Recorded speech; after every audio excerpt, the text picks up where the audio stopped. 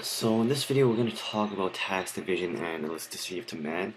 What tax division and elasticity of demand is, it is the division of tax between buyers and sellers that depends in part on elasticity of demand and in part on elasticity of supply. So we'll talk about the elasticity of demand part first and there are two cases and the first case is a perfectly inelastic demand and that is when buyers pay the entire tax and perfectly uh, elastic demand when sellers pay the entire tax. The more inelastic the demand, the larger is the buyer's share of the tax. So let's get started. Um, so let's take a look at this graph at first and this graph is a perfectly inelastic demand graph which I marked here the demand for this good is perfectly inelastic so that can be seen by the vertical demand curve we have here. And when we add tax to this uh, this curve the supply curve actually moves up.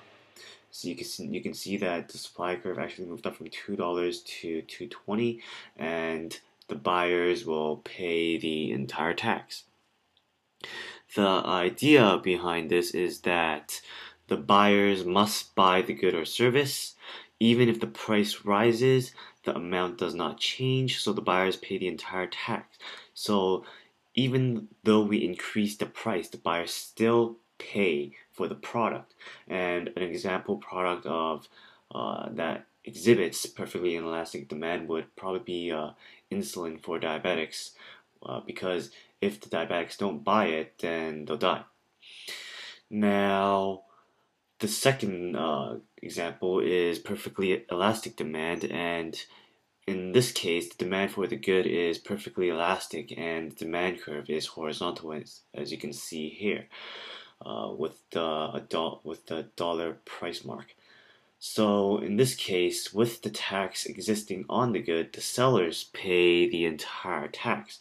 So you can see in this graph that normally without tax we were the quantity that was being sold was 4 but with the tax the quantity actually decreased and sellers paid the entire tax uh, the idea behind this is that the buyers can substitute goods so the sellers pay the entire tax.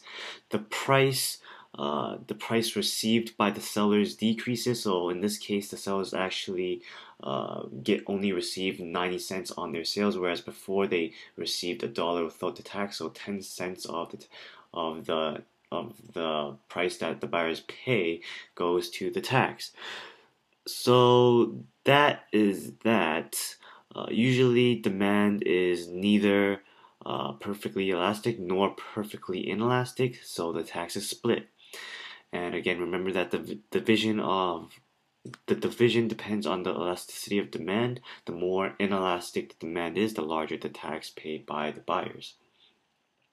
Now we're going to go through the tax division and elasticity of supply, much the same as the demand part, but then these two cases are Uh, modified and the two cases are perfectly inelastic supply in which the sellers pay the entire tax.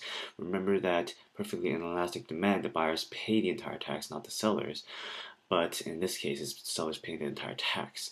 In a perfectly elastic supply, the buyers pay the entire tax. And again, the more elastic the supply is, then the larger is the buyer's share of the tax. So the supply of the good in this example is perfectly inelastic.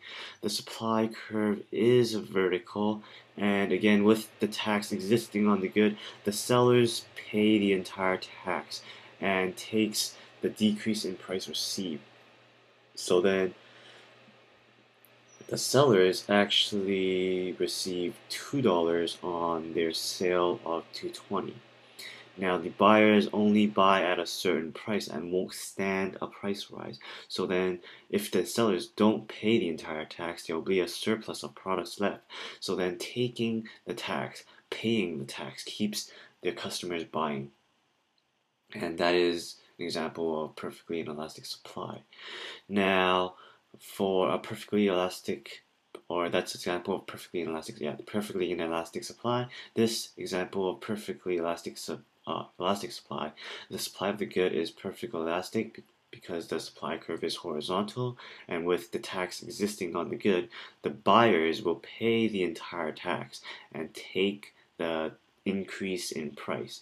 And this will actually cause a decrease in quantity sold. As you can see we went from a quantity of 5 being sold without the tax to a quantity of 3 uh, with the buyers paying the entire tax and again usually the supply uh, is neither cases that is that uh, usually the supply is neither perfectly inelastic or nor perfectly elastic, the ta and tax is split between buyers and sellers.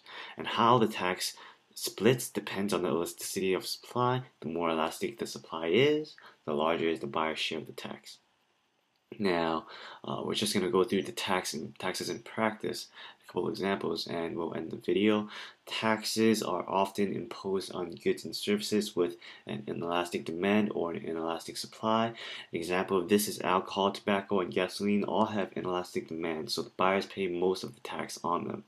Now, labor has a low elasticity of supply, so the seller, which in this case is the worker or the employee pays most of the income tax and social security tax. And those are two examples of taxes in practice. Now, that's all I have for this video. Please rate, comment, subscribe if you haven't already. Uh, and uh, I'll see you guys in the next video. Thanks for watching.